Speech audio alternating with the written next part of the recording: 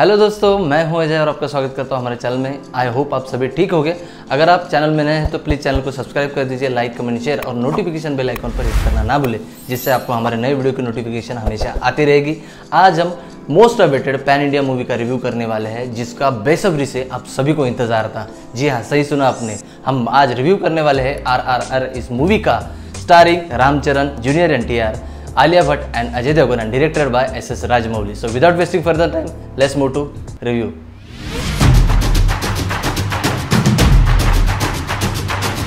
Covid के चलते इस मूवी के रिलीज़ पर सवाल उठाए जा रहे थे लेकिन फाइनली ये मूवी अभी सिनेमाघरों में रिलीज़ हो चुकी है तकरीबन तीन घंटे से भी ज़्यादा इसका रन टाइम है। और ये तीन घंटे की मूवी देखकर मैं अगर एक वर्ड में अगर इसका रिव्यू करना चाहूँ तो मैं बस इतना ही कहूँगा it's a wow and it's amazing movie ये कहानी घूमती है भीमा और सीताराम राजू के इर्द गिर्द।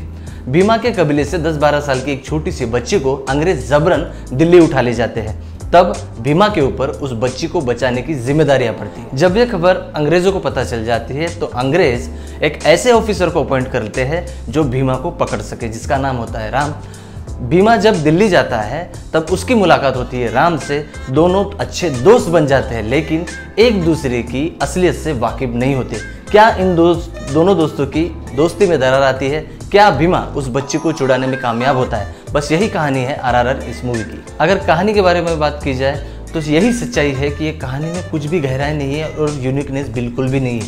लेकिन एस एस राजमौली एक ऐसे डायरेक्टर है जो अपनी कल्पनाओं को बड़ी भव्य दिव्यता से पर्दे पर उतारने के लिए फ़ेमस है।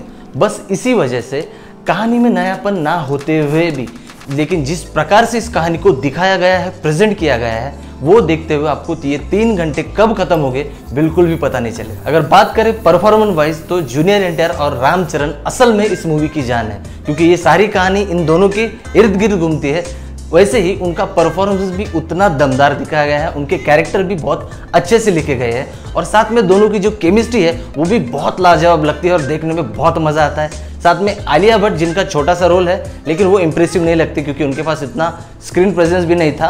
और साथ में अजय देवगन का जो एक कैमियो है, जो इम्पोर्टेंट कैरेक्टर है, लेकिन उतना इम्प्रेसिव भी नहीं लगता। इस मूवी के वी एंड सिनेमाटोग्राफी एक नंबर इतनी ज़बरदस्त है, जो आपको एक ऐसा अद्भुत सिनेमेटिक एक्सपीरियंस देंगी। उनके सेट्स हो, चाहे उनके सराउंडिंग हो इतने डिलाइटफुल टू वॉच लगते हैं, जो अगर आप उसको थ्री में देखेंगे तो आपको बहुत ज़्यादा मज़ा आएगा।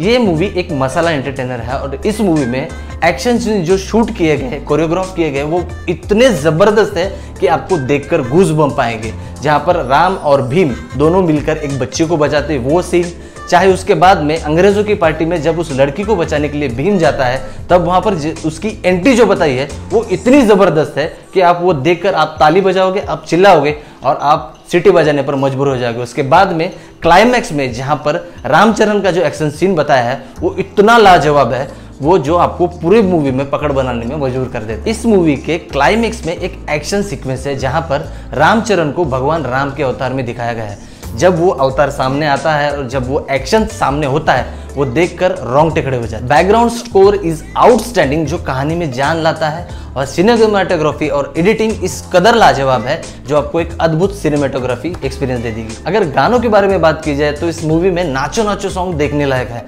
जिस तरह से उस गाने को कोरियोग्राफ किया है और साथ में रामचरण और जूनियर एनटीआर ने जो डांस मूव दिखाया है, वो डांस मूव देखकर पर्दे पर आग लग जाती है, लेकिन इसको छोड़कर कोई भी गाना ऐसा नहीं है जो आपको याद रह सके। All in all R R R एक मसाला एंटरटेनर मूवी है जो आपको 101 परसेंट एंटरटेन करेगी और आपको पसंद भी आएगी। मैं देता हूँ 4.5 स्टार आउट ऑफ़ 5 स्टार तो देर किस बात की? जाइए अपने फ्रेंड्स और फैमिली के साथ में ये मूवी देखिए और एंजॉय करिए और मुझे कमेंट बॉक्स में बताना ना भूले कि आपको ये मूवी कैसे लगी। है तब तक हाथ धोते रहिए सोशल डिस्टेंसिंग बनाते रहिए और अपना ख्याल रखिए। मिलते अगले वीडियो में। बाय